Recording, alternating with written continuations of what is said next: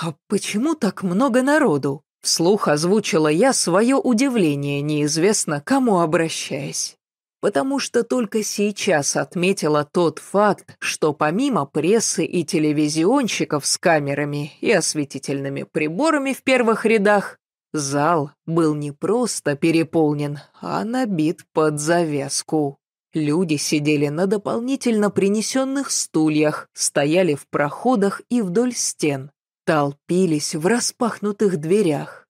И все посматривали на возвышающийся на сцене и пустующий пока президиумный длинный стол, утыканный микрофонами, бутылками с водой и высокими стаканами.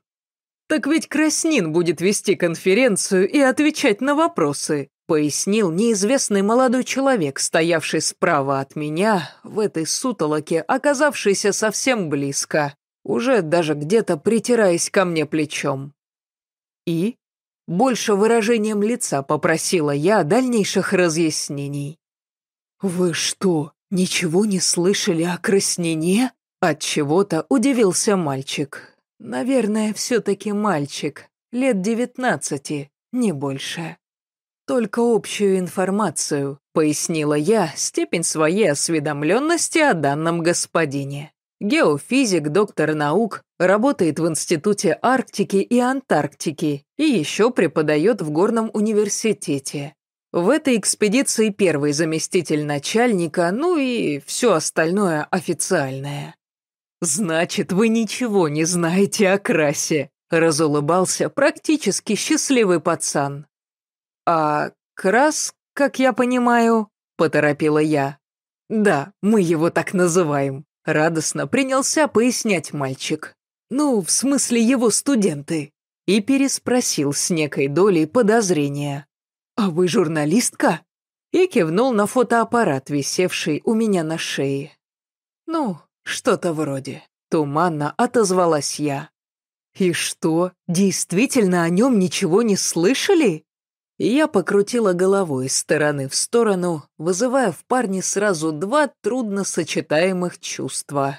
Некую обиду и удивление такой моей неосведомленностью и жгучее желание рассказать о великих достоинствах своего учителя.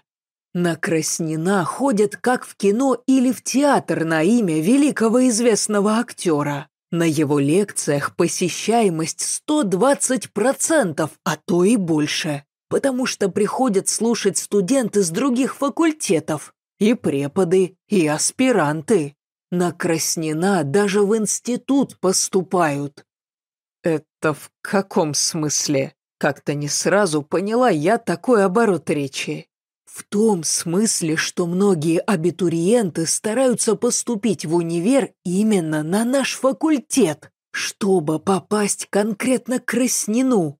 Он же не только разведочную геофизику преподает, он и курс геологии и геофизики читает. Это, конечно, замечательно, но что же в нем такого исключительного? Усмехнулась я, видя такую увлеченность студентика своим преподавателем. «Так и не объяснишь», — засмущался неожиданно молодой человек своей излишней восторженности. «Он умеет так рассказывать и преподавать свой предмет, что влюбляешься в науку. Не знаю», — окончательно стушевался парень. Даже зарделся от смущения немного, вот честное слово. И кивнул в сторону сцены, куда начали один за другим подниматься и устраиваться за столом, ожидаемые всеми официальные лица. «Сейчас сами все услышите и поймете», — пообещал парень. А я уже о парнишке забыла, рассматривала с пристрастием, как только что выяснилось, весьма знаменитого господина Краснина. Он был выше среднего роста, худощавый, подтянутый, мускулистый. Ну еще бы. Судя по той информации, которую я накопала о нем в сети, каждое лето он проводит в научных экспедициях. Больше двадцати раз был на Северном полюсе, в том числе несколько раз, как считается у настоящих полярников, в правильном, то есть истинном достижении полюса. От любого берега пешочком, на лыжах и собачьих упряжках. От земли, как они это называют, а не на корабликах и вертолетах. Это среди специалистов и достижением полюса не считается. Так, туристическая прогулка. А при подобном времяпрепровождении спортивная фигура подразумевается как-то сама собой, хотя, может, гражданин и штангой балуется. Ну, не суть. Вернемся к внешности, так интересовавшей меня.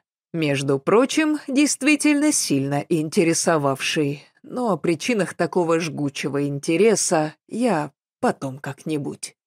Я подняла камеру глазам, настроила оптику на приближение картинки и рассматривала его через объектив весьма подробно.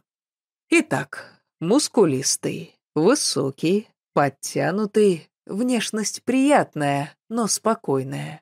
В том смысле, что не красавец писанный, далеко не красавец, но интересный мужчинка. Даже с некоторой харизматичной мужественностью в чертах лица. Не длинные, но и не короткие волосы. Вполне приличная, даже где-то стильная стрижка. Улыбка приятная. Тут уж ничего не покритикуешь. Приятная улыбка а взгляд задорный, молодой, с чертинкой в темно-зеленых глазах. Краснин вообще выглядит моложе своих 37 лет. Пока я рассматривала господина ученого, пресс-конференция уже началась и покатила своим ходом.